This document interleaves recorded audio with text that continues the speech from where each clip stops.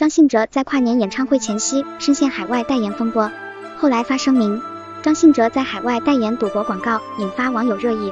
他发布了声明，经纪公司的确在二零二零年三月和某娱乐公司菲律宾公司签署了文化娱乐代言合约，但在二零二一年三月已经终止合约，合约有效期一年。张信哲深刻检讨自己，身为公众熟知的歌手，手法只是底线，在道德层面更需要做出表率，谨言慎行，以身作则。这件事给公众造成的不良影响，表示深深的歉意。入行三十多年，用声音传达爱与正能量，希望事件早日结束，将来会把修德修义、满足社会期待作为今后的行为标准。其实这事已经解释清楚了，代言行为是在海外，并不是在国内。而且已经在年头就已经终止了合约，希望大家还是相信他的人品。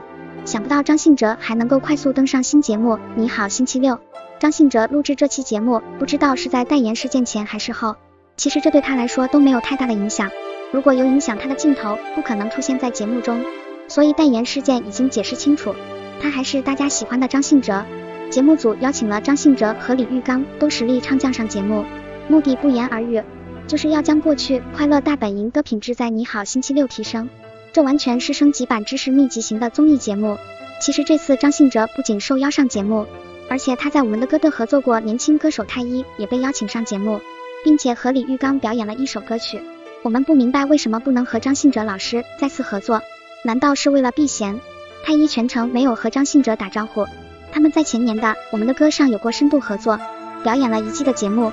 想不到在这台节目形同陌路，而且比较巧合的是，太一和张信哲都上过《歌手》这节目。我们不知道太一和张信哲合作过我们的歌之后有没有联系过，但感觉节目组这样的安排有点尴尬。本来太一应该和张信哲合作，想不到是和李玉刚合作。太一和张信哲都是脸肿眼袋大，而且太一的眼袋特别的明显。太一应该私底下会和张信哲打招呼，但在节目中完全没有看到他们打招呼。虽然太一和张信哲都很社恐。但这曾经合作好几个月的师徒，不可能两年后见面变陌生人了吧？张信哲不仅以资深歌手的身份参加节目录制，同时他也是一个收藏玩家，貌似还在上海开了个人展览，展出他收藏的珍品。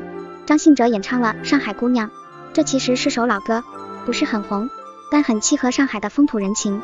张信哲的镜头还真不少，基本上出现的频率很高，该节目的收视率也很不错。几乎是省级卫视同时段综艺节目第一。现在算看明白了，这个节目完全就是升级版的《快乐大本营》。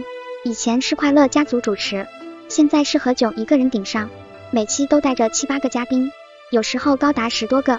这打的是人海战术，展示的是传统文化精髓。谢娜的角色被蔡少芬顶替，却是一个比一个傻，不知道是真傻还是装傻。不明白谢娜那点不如蔡少芬。井号，你好，星期六井号。